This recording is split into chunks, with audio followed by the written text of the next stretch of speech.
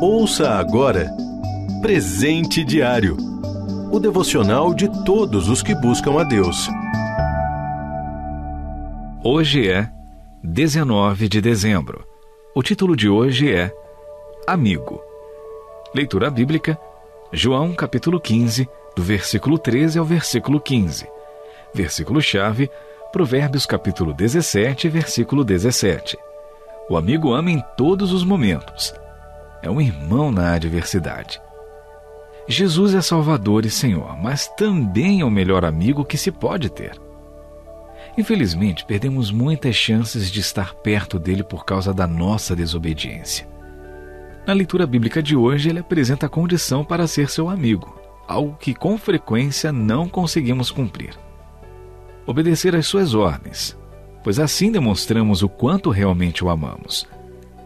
Quando nos mudamos de uma cidade onde tínhamos uma boa igreja e amigos chegados, sentimos um vazio muito grande, pois apesar de a nova igreja também ser muito boa, levou vários anos até conseguirmos formar novas amizades por causa de diferenças culturais.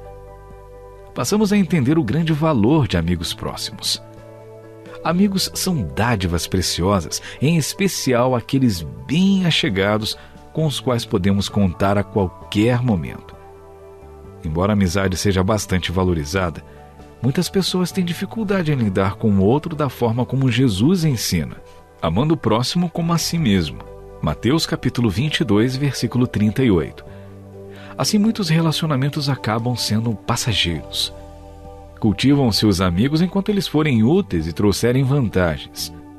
Porém, quando surgem problemas ou quando eles deixam de oferecer aquilo que esperamos deles, são dispensados e por vezes até desprezados.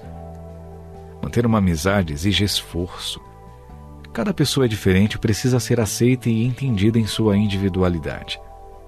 Com frequência é necessário abrir mão de nossas preferências e amar o próximo como Cristo fez, que chegou a morrer por nós. Não é fácil, mas é algo que vale muito a pena, pois é muito bom ter ao nosso lado alguém em quem podemos confiar e que nos apoie quando passarmos por lutas ou dificuldades. Ser fiel a Deus nos leva a sermos chamados de seus amigos. E ao obedecermos ao que Ele manda, acabamos nos tornando mais parecidos com Jesus, o que nos capacita a também sermos bons amigos para as pessoas à nossa volta. Para ter bons amigos, que tal começar sendo um? A exemplo de Jesus.